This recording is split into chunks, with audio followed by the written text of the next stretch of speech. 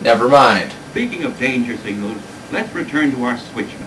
When he Yeah. really knows his That's danger kinda the title of the- the short. promptly to protect lives and throws the switch for a clear track ahead to health and happiness.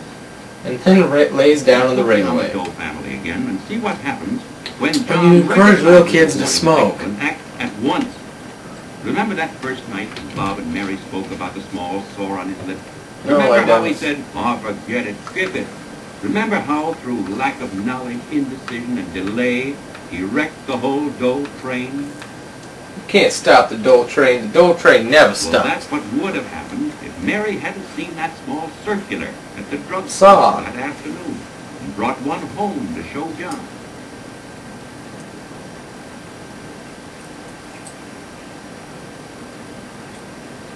it says breast.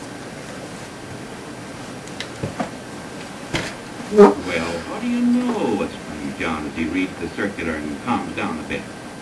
Maybe I do have cancer. Okay, well, as long as I can know. To be on the safe side. And while we're on the subject, Mary, you'd better come in along too for a checkup. Get the doctor on the phone. Find out if he can arrange to see us in the morning. Meanwhile, at 3 a.m. in the Dr. morning. Benjamin seems quite pleased that John came in to see him so early. You see, it's half of practicing medicine to be able to see people early, when something can be done. It's like the old saying that an ounce of prevention is worth a pound of cure. Decay. Oh. In cancer of the lip, 95% can be cured when they're detected and treated early. The doctor is suspicious that it is cancer, and on the assumption that it is, and What's proven otherwise, got in his finger? It's just a, it's a single finger glove. That's a good idea. if it is, he'll use one of the three accepted means of treating cancer. Knives, X-ray, guns, and bombs. or surgery, or a combination of the three methods. It won't take long, and John will only be laid up for a few days.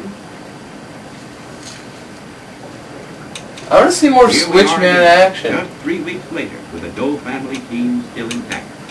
John has been back on the job, and with a promotion coming up, he's already making plans. hey, just got diagnosed with cancer. Okay. Got a light?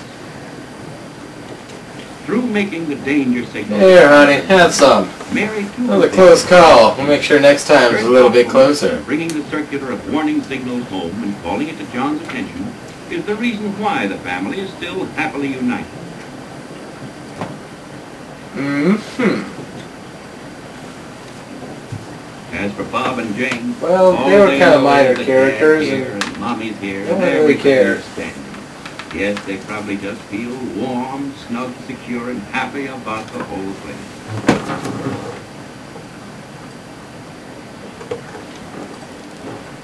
Cancer can often be cured. The hope of cure lies in early detection by the individual and the physician. Now, if it's 95% curable back then, why are we so worried now? Right? is moderately advanced. I'm gonna go smoke a whole bowl. There are only three recognized means of treating cancer. They are surgery, Blades, X-ray, Saws. and radium. swords. So be an alert switchman. Cancer is curable. This guy again. Alright. I think the switchman there is really the glue that holds this cast together, you know? Don't gamble. Don't doubt. Find out. 50,000 to 80,000 people can be saved every year in the United States if the danger signals of cancer are made known to them and they act Known at to once if one develops. The narrator almost knowledge weenie. and skill is at the command of the medical profession. A thorough examination by Thorough? your family physician is your best assurance you will be counted All ah, right, among one those out. who are saved.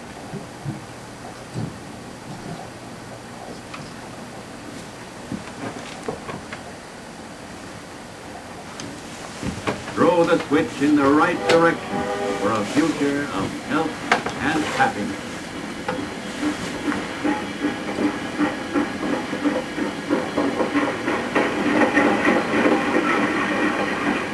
All aboard the cancer train.